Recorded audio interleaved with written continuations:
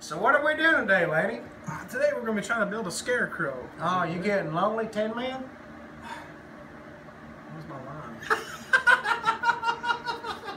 What's it? From what? To the front yard, man. So when the trick or treaters come by, you know, as you built your wooden sign last year, they'll have something else to look at. Oh, that just means you're gonna take all the candy altogether. I don't know where you're going with this. All right, pause it. Pause that. We'll keep some of that. All right, Will will you show me what you want me to cut, and I'll cut. All right. Well, well, first thing, I guess we'll take this pencil and start. Will that work? No, no, that's not how we do this. I'm sorry. I don't know. Show me. All right. So how long do you want your shaft to be? Can we You cut can't there? break character. One. I'm Rolland, And I'm Landon. and together we are Manly Man 101. Here to teach you. How to do stuff manly. So what do you got us for today? What do you got us for? I'm sure we have a good intro. I'm sure we have.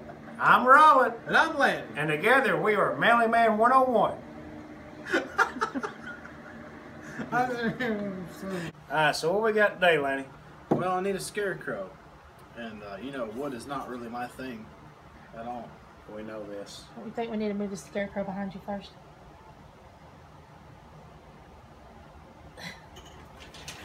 I didn't think that through.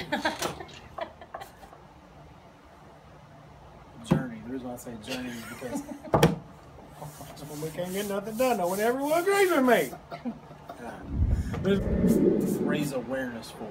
I shouldn't be rushing the table. But rushing, uh, uh, I like to raise awareness. I like to raise awareness for a, a, a special cause.